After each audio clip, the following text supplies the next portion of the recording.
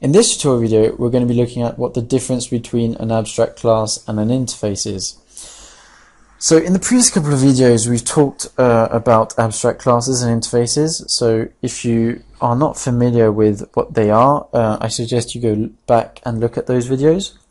But assuming that you do know what they are, um, you've probably noticed that both of them seem pretty um, uh, similar between each other. So you've probably asked yourself the following question, what exactly is the difference between an interface and an abstract class? Well, to best answer that question, let's first of all look at this table which compares the two. So an abstract class does not support multiple inheritance, whereas an interface does. An abstract class contains members, whereas an interface doesn't. An abstract class contains constructors, whereas an interface doesn't.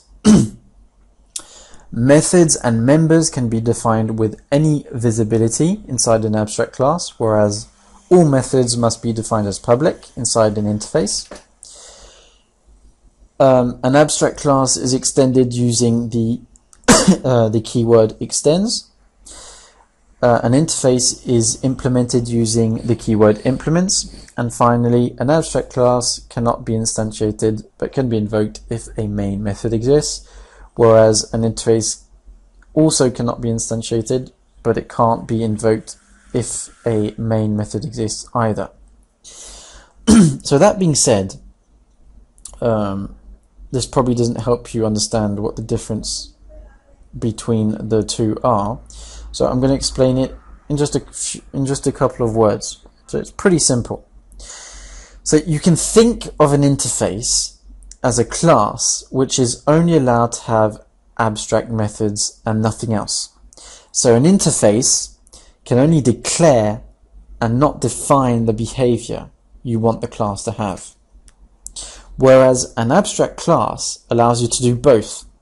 It allows you to declare and define. So you can declare uh, using abstract methods and define using full method uh, full method implementations. So you can declare and define the behavior you want the class to have. So now it should be more clear uh, what the difference between an interface and an abstract class is.